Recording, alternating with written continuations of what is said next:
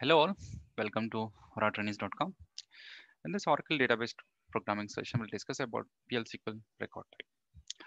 Let us get into the agenda. After completing this session, we should be able to understand how do we create a PL SQL record type and also how do we declare a variable with percentile row type attribute. So here, like in the PL SQL, we have two kinds of data types. Like uh, we know that like uh, the basic data types, which are number, varchar. Apart from those things, we have a different kind of data types. We call it as composite data types. Nothing but, you know, like a, an easier way to understand composite data type is nothing but a variable which can hold multiple values. And these composite data type are further divided into two types. One is PL SQL record. Other one is called collection. So in the PL SQL record, it is nothing but a variable which can hold which can hold a record of a table. It is not that exact a record of a table, but when you say a record, it's a group of set of columns which can be of different types. That's nothing but a record. So in PL SQL, like when you just see a record, when you when you see any row in the table, that's nothing but a record, right? Like a set of columns, a set of columns in a table is called a row or a record. And similarly, the PL SQL, when you say a PL SQL record, it's nothing but a variable which can hold a multiple set of values similar to a table row. That's called PL SQL record. Coming to the collection. So in the collection, it's a set of elements of same data type, nothing but like array of employees, array of employee names, array of percentages, right? It's like a collection which can which is holding data of all the same data types. Nothing but there is another thing called a collection of records. Nothing but like I have a I have a collection which is a which is which can which is holding a 10 employee records. That is also a collection. Okay. That's a basic difference between a record and a collection. A record is nothing but a single record. A collection is nothing but a collection of record, I can say, in easier way to understand. Now, so let us get into the PL SQL record. What it is all about. It must contain one or more components of any scalar or record or index by table, index by table data type called fields. So nothing but like uh, when you declare a PL SQL record, what should it contain? So the type, the PL SQL record type should can contain a simple scalar scalar data types, or it can also contain a record data type. Okay. And again, it is not the same as database table, and it is not same as your database record. You can treat a collection of collection of fields as a logical unit, and these are generally used when you want to fetch the data or pass the data to a PL SQL uh, package or a function. Okay we can also declare these particular PL SQL record data types as in the declared section, or you can also create them as a data. You can also create them as an object, like using create type create type command. So nothing but like you can declare them within the PL SQL component, or you can declare them externally, like using a create type, so that those things can be used in any of your different particular uh, PL SQL components. Okay, next one. Let us see the syntax of it. So here, if you observe, like uh, the syntax is type type is a keyword followed by type underscore name is record. And you have can mention the field list of fields and the data type. And then here if you observe like uh, once your data type is created how can you declare a variable of that particular type? You just need to mention the identifier nothing but the variable variable name followed by the type name which you created. And that field declaration here if you observe it can be of anything. Like it can be a scalar field or it can be a complex field nothing but it can be also a row kind of field okay and also you can assign them values. Now let us see one of the example. So here if you observe in the declare section we have done declaration of a type type student as record. It is having three variables name hall ticket number as well as status. And we have declared a variable called candidate. A candidate is a variable of data type student which can hold three values. One is name, hall ticket number, and status. It can hold only one record. It cannot hold the data of multiple records. That you have to understand here. It can hold the data of only one particular employee or one particular student in this case. Okay. Later on, we will see that how can you how can a variable can hold multiple records also we'll see it. Okay. Initially, this is one of the simple sample which is holding the data of a single candidate. And we also have another example on the employee database. Here, if you observe, we have a same same similar kind of example. I have it.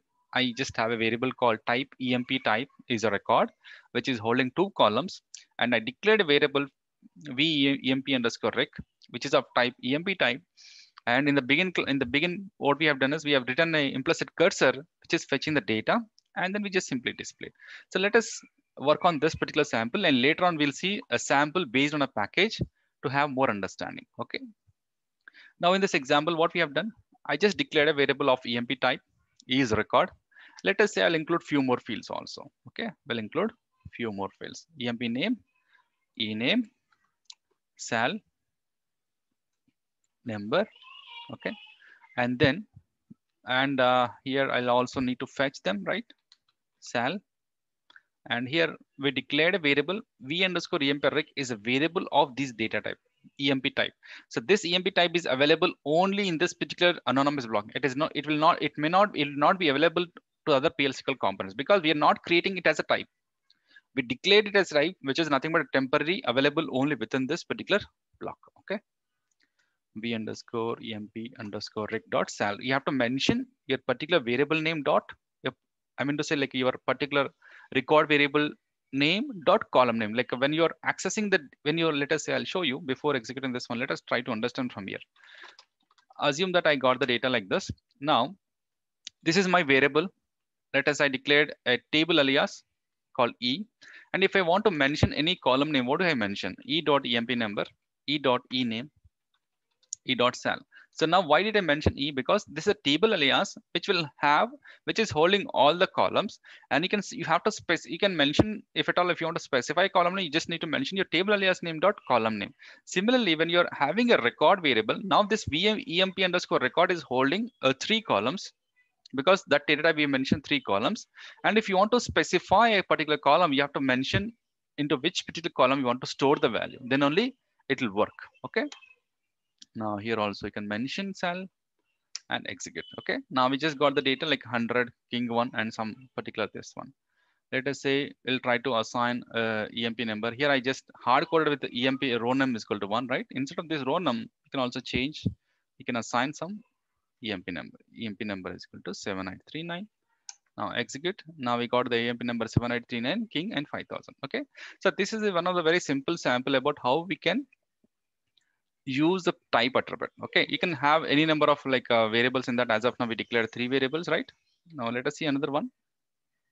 The percentile row type attribute.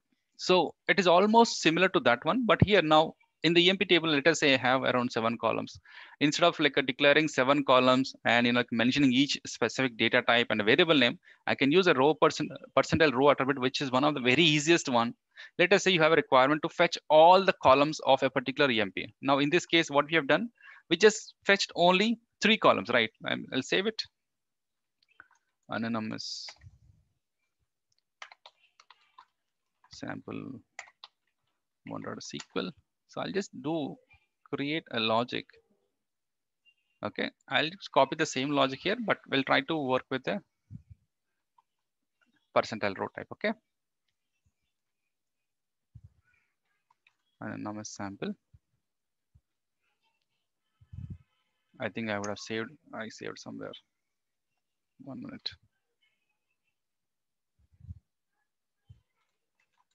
Type sample, think I'll make let me save this with three, okay? Now, okay, so now what I want to do is I just want to see a row type of sample. I want to use a row type sample. So I don't want to declare all this one, all these things. Simply what I'll do is I'll just use the same variable, but here instead of mentioning EMP underscore type, which is no more available, I'll just mention EMP percentile row type.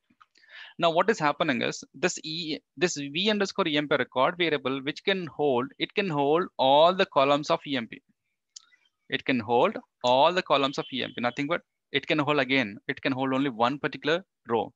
Now let us say I have selected one row. This is a single row, right? Like uh, we have around four, five, six, seven, eight columns are there. Okay, eight columns. Now in this one, what I'll, what I'll do is I'll just mention star because I want to fetch all the columns. And here I can simply mention like this v underscore emp underscore rec. Okay. Now let's see how simple it is. Okay, can you see? We got uh, the relevant columns which we printed. Let us if at all, if you want to print hire date, you can print the hire date also. And one more disadvantage of this particular row type is let us say your table is having 50 columns and you want to fetch only 10 columns. if you use this kind of row type logic, what will happen? You are unnecessarily fetching 40 extra columns which are which are of no need. That is the reason you have to use record type if at all, if you want to fetch only few columns. And best best thing is to if at all if you want to fetch all the columns, row type is the best one. Okay. So these are the simple samples based on the record type. Now I want to show one particular package example which involves a single record fetch as well as multi-record fetch. Okay. Now I'll just close these two things not to confuse anything.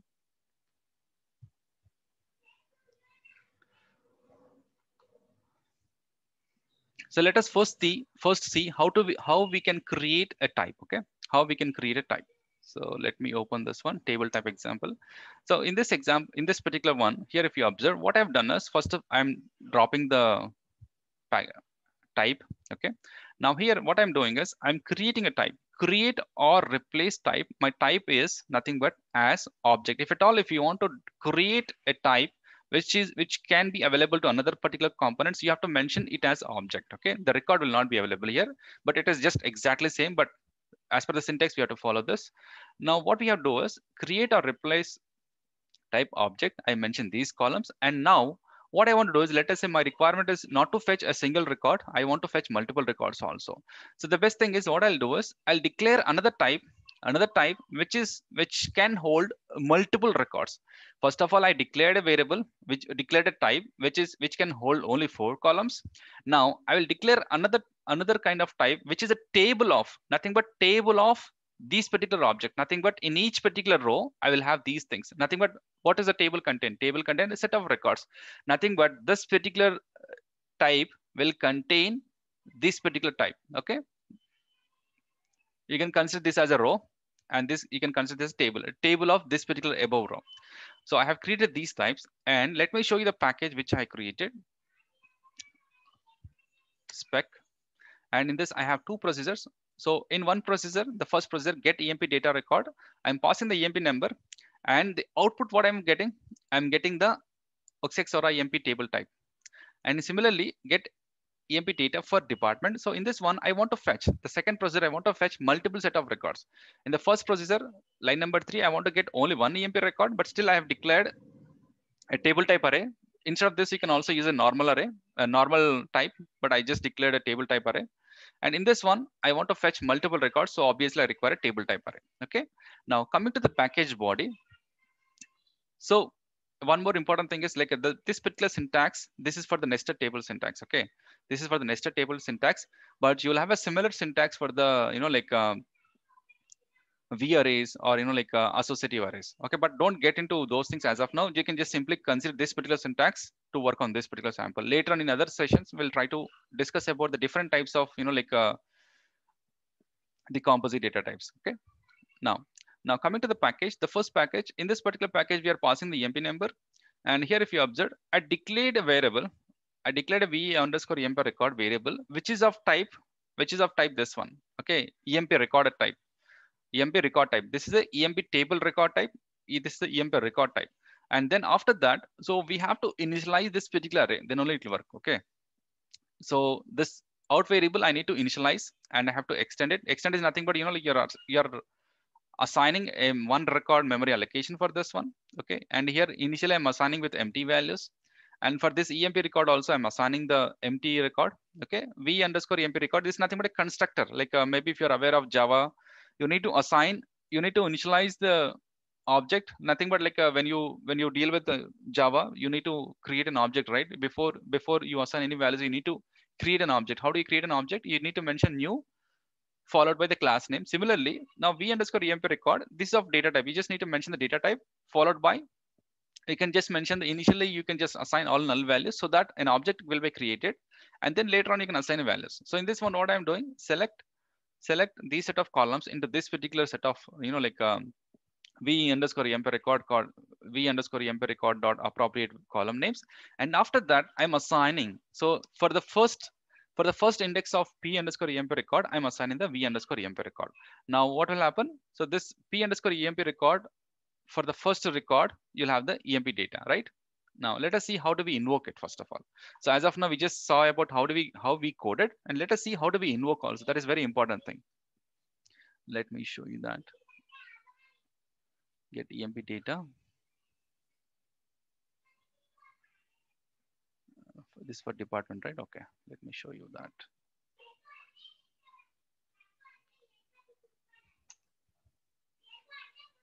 I think I renamed it with a different name. Okay, that's fine. I'll just copy this.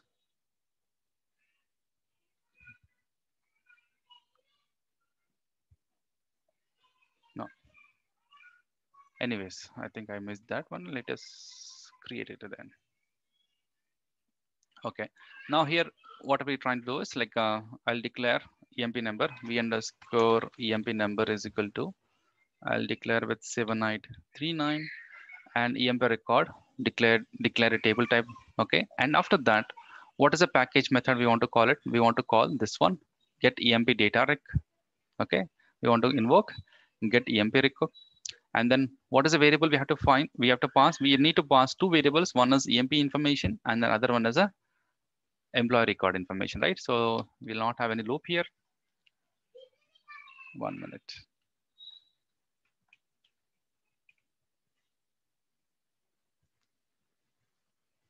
Okay.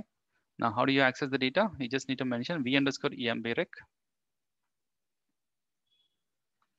v underscore emprec.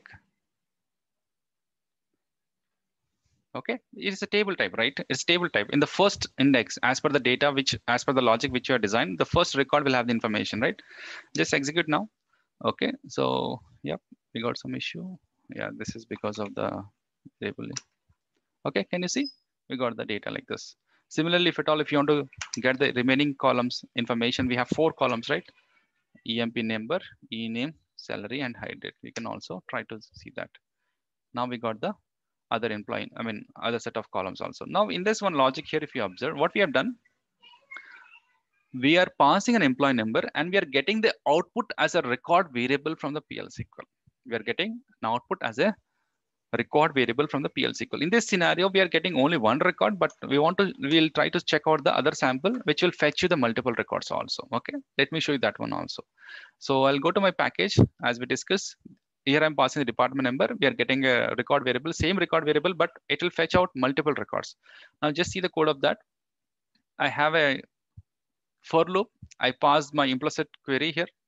I'm passing the department number. And here, one more thing, what I'm doing is I'm extending the array because I have to dynamically assign a row for this particular nested table concept array.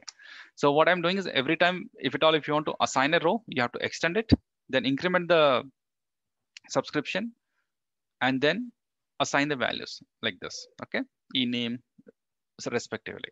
Now, now, once the data, once your program is ready, then what you can do is now go to the anonymous block. See, why are we using anonymous block? Because this particular PL SQL, programs which are having out, you cannot invoke them using exec. You have to use anonymous block only. But as a developer, we are invoking ex, we are using anonymous block to execute. But in real time, what will happen is whatever the program which you have designed, the source system, maybe the target or source system, whichever system you are, let us say your PL SQL program will be used by a Java program. So the Java team will invoke your program, or let us say your program is used in the integration. What will happen is your program will be invoked by the integration team or a SOA or ICS team, and they'll they will try to extract the data from your database using your, your PL SQL program. To validate our program, how do you do it? Let us say you have designed a program. How do you validate? In this scenario, anonymous block is the best choice, I can say, right? That is why I'm I'm using anonymous block to validate how it is working okay? This is kind of unit testing for your program when you're when you're invoking your PL SQL program okay? Now i declared a department number and then here i'm passing the department number emp record. And here i need to validate right? Let us say whether it is fetching how many emp how many emp records for a given department how do you do it? I need to loop this one. I need to loop this emp record array. So emp rec dot count it gives you the maximum number of like it gives the number of records available in your EMP array. And based on that, I need to loop it so that I can print all the information, right? So now I'll just execute here. Okay. Now can you see? So this information, the two line, the first and second line messages from the package where I have written the DBMS output. And after that, here I've written this one, EMP row count is nine, and it is printing the nine records information. So now here, if you observe in this particular program, what we have done, we are fetching multiple records. Okay. We are fetching multiple records using a out record variable. Okay, so this all this is how you know you can fetch multiple records using PL SQL. Okay. Yep. Thank you.